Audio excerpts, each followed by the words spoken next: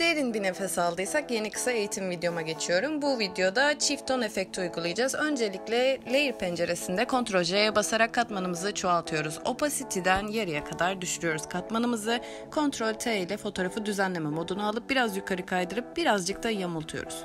Daha sonra layer'a çift tıklayalım. Tıklayamadık.